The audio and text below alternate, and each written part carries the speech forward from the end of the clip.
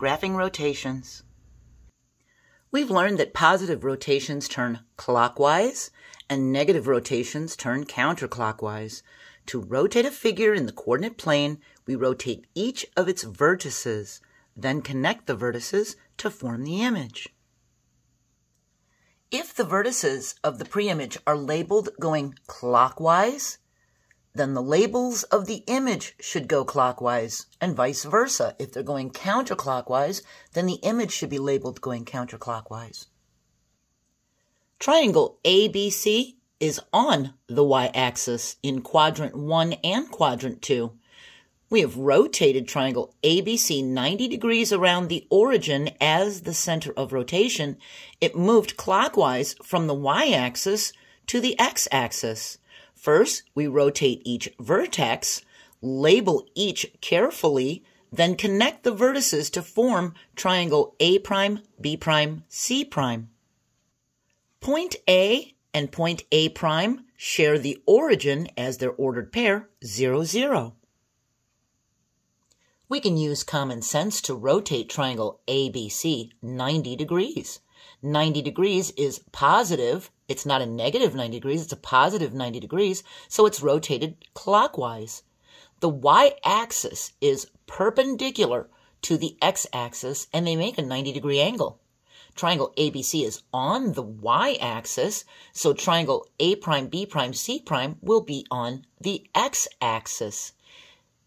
B is two units to the left of the y-axis, so B prime will be two units above the x-axis.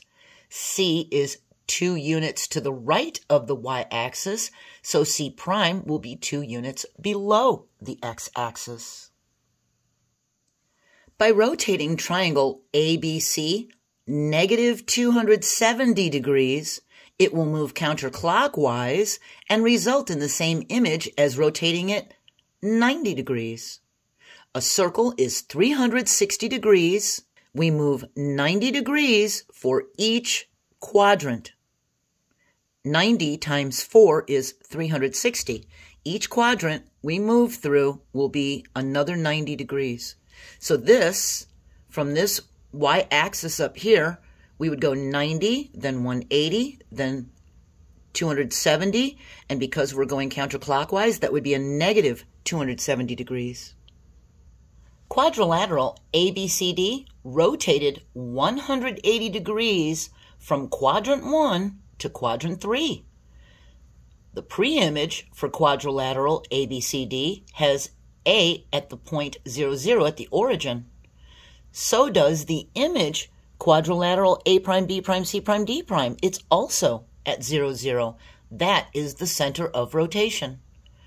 B is at 2 for x, 3 for y, and b prime is at negative 2 for x, negative 3 for y. Do you see what happened? These have a positive 2, a positive 3. This is negative 2, negative 3.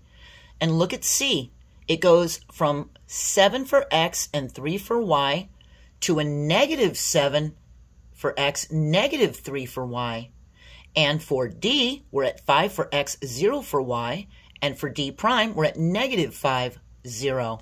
The size and shape of the figure were preserved, but the orientation changed. So for transformations, which are functions, we have translations, which are a slide, reflections, which are a flip, and rotations, which are a turn. We're finished with lesson 9.3 and moving on to 9.4, and we're going to learn how to algebraically represent translations, reflections, and rotations. Make sure you label your image correctly going counterclockwise or clockwise the same direction as the pre-image. And have a great day and join me for 9.4. Bye.